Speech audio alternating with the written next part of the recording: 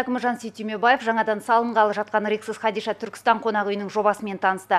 Бекзат Саттарханов даңғылы бойынан орын тебетін алты қабатты отельдің алғашқы іргетасын құюды бастап берді. Бес жұлдызды қонақ үй халықаралық талаптарға сай қызмет көрсетпек. 1200 квадраттық болдыру, үш ресторан, одан басқа астында спа, үлкен бассейн, бассейннің ұзындығы 30 метр, ені 12 метр. Ал енді бұрадан 120 орындық, а, үстінде үлкен қонақ үй. Қонақ кейін бастаймыз қазір. Уже тез техника бар дайын. Бүгін іргетасын қалаймыз, алғашқы капсуланы саламыз. Одан кейін Рахмет. бастаймыз. Құтты болсын. Керемет оқиға.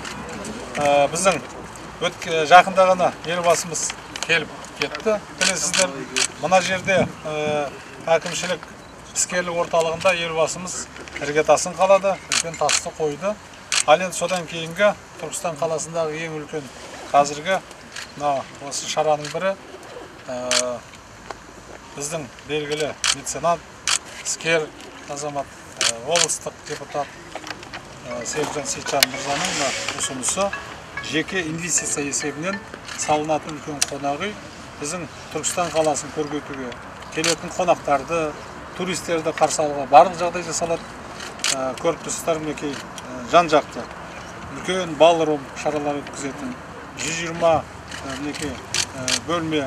Ар жағында мәдени жаңағы сауда орталығы қарасаңыздар. Енді бұның қандай сапасы болатынын айтудың қажеті жоқ. Өйткені шымкент қаласындағы рексес қонақ үйінің сапасын көрдіңіздер ал енді кез келген қалада тарихи жерлерді мәдени жерлерді туризмді дамыту үшін дамыту үшін аэропорт қонақ үй одан кейін жаңағы сол біздің мавзолей ол енді ә, 14 ғасырдан келе жатқан мавзолей кесене. Оның сапасын көріп тұрсыздар. Сондай сапаға лайық осындай қонақ үйлер ә, аэропорттар болса келген қонақтар қиналмайды. Сондықтан бұл үшін ә, біз үшін ең басты мәселе. Сондықтан тағы да серікжан сейітжанов мырзаға мен үлкен алғысымды білдіргім келеді. Құтты болсын. Тез құрылысы бастап қарқынды түрде мінекей бір жылда бітіремін деп отыр секең осы бір жылдан кейін осыны құттықтаймыз барлығымыз. Облыс орталығында алғаш рет бой көтергелі жатқан отельдің құрылысына 10 миллиард теңгеден астам қаржы жұмсалмақ. 120 бөлмелі қонақ үйде мейрамхана, ресторан, бассейндер мен спа-салондар және ауқымды жиналыстар өткізуге болатын конференция залдарда болмақ. Облыс әкімі Жансейіт Түймебаев пен қонақ үйді қаржыландырушы кәсіпкер мейманхананың алғашқы іргетасын құйып, қонақ үйді салуды бастап берді. Түркістан қонақ үйі.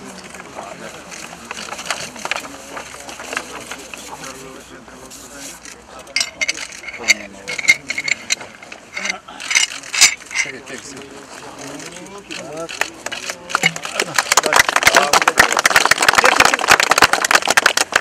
кел, кел, кел. Кел, тез, тез, тез.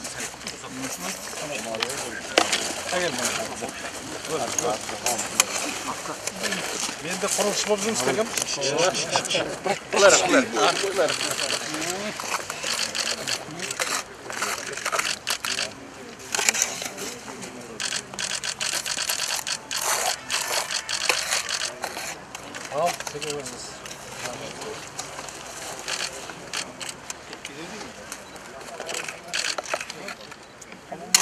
Көзімізден бері тас болып жоқ жөндеп ұстайық. Стандарт цементті беруіміз керек қой. Мынаны қоямыз ғой, да? Жоқ, бұған мынаны жау, мынаны жаудың Орда. Былай былай ойлап тастайық. О, орда. Жабат болсақ. А, Владимир Иванович тоже. Будем утон. Мынау связка үшін. Связь. Пожалуйста. Подожди. Вот, утон ақсақалымыз. Құрылысшы. Так. Ал, болды ма, Владимир Иванович?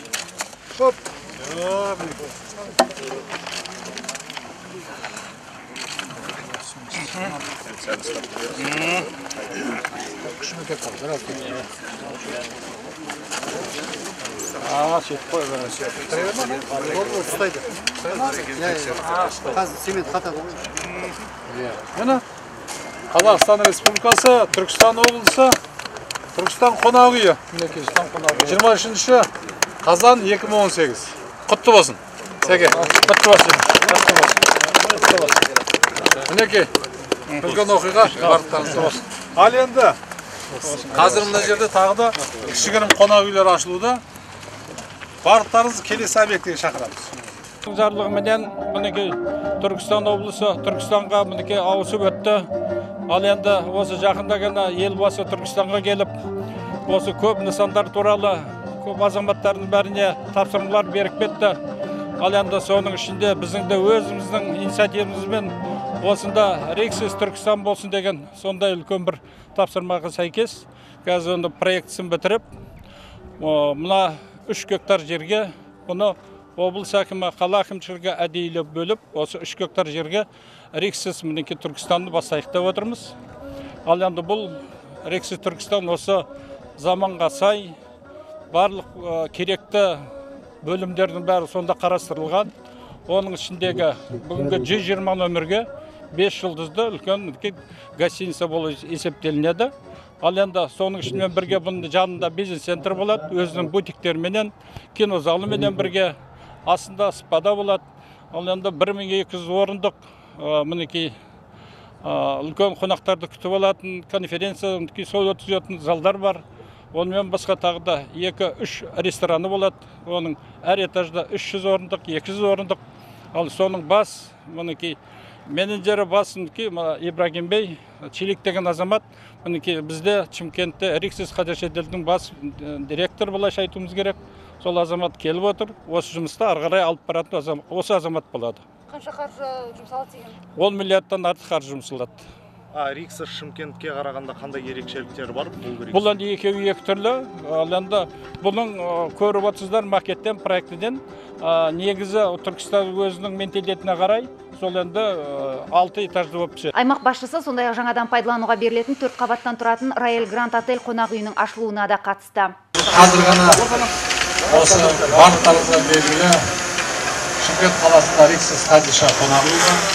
Сол қонақ үйді салған біздің белгілі іскер азаматымыз меценатымыз облыстық мәжілістің мәслихаты депутаты серікжан сейтан мырзамен бірге ірге- іргетасын қаладық алғашқы капсуланы орнаттық ал енді қаламызға қазір жақсы қонақ үйлер мейрамханалар өте қажет соның бірі осы қазіргі келіп аша деп отқан гранд роял мінекей қонақ үйі отыз алты бөлме елу орны бар кафесі бар рестораны бар басқа қызмет көрсету барлық жағдайлар жасалған осы қонақ үйдің сіздердің қожайындарының үлкен алғысымды білдіргім келеді өткенде салынып жатқан кезінде келіп көрдік ал енді түркістан қаласының облыс орталығына қарай орталық болуына бұл үлкен оқиға мінекей әрбір қонақ үйде біз қуанамыз өйткені келіп жатқан туристердің саны мен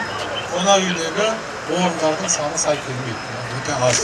Былтырғы жылдың өзінде бір миллион жүз алпыс мың бізге турист және зияратшы келсе болашақта одан да көбейе береді. Соған барлығымыз қызмет жасауымыз қажет сервис жоғары деңгейде болу керек. Сондықтан құтты болсын. Осы барлықтарыңызға мен қаладан құттықтай отырып осындай қонақ үйлер біздің қаламызда көп ашыла берсін. Құтты болсын. 36 орынға арналған қонақ үй шетелдік қонақтарды туристерді күтіп алуға толық мүмкіндіктері бар. Онымен қоса киелі жерлерді саяхаттау үшін туристерді алып жүруге арнайы көлік қарастырылған. Біз мына қаламыздың күніне мына үлкен мейрамхана есебінде халыққа қызмет жасайтын гостиница құрып соны белгіні ашылу есебінде отырмыз. Құда қаласа осы мейрам неміз гостиницамыз комплекс қой енді бұл жерде моншада бар восточный. Не барлығы барлық жағдай жасалған. Сол келіңіздер қонақ болыңыздар. Келешекте қаламыз үлкен турист қаласы болайын деп отыр ғой келешек. Кеше назарбаев көкеміз келгенде сондай задание беріліп кетті. Сол келешекке құда қаласыға осындай біз үлесіміз осы маккамбоевның балдарының үлесі деп не қыламыз? Қала күніне қаланың несі көркеуіне қызмет жасап осыны неғып отырмыз ашып отырмыз. Көпшілікке келіп осы жерде демалып енді шай пай ішіп неғып кетуіне барлық жағдай жасаймыз. Жерде осы роял гранд отельдің басшысыз ба? Мен осы иә басшы егесімін қазір осыны мен балдармен. Енді оны қаржыны қазір есептеп отырған нелер бар? Бухгалтерия мен ол қаржыны неғып отырған жоқпын бірақ он бесінші өзім жеке қаржымызға салдық. Он бесінші жылы бастадық. Күзде міне он сегізде тапсырысқа беріп отырмыз. Қалада жыл сайын келуші туристер санының артуына байланысты халықаралық стандартқа сай қонақ үйлер әлі де көптеп салынады. Бұл үшін жергілікті билік өкілдері кәсіпкерлерге үлкен қолдау білдіріп отыр.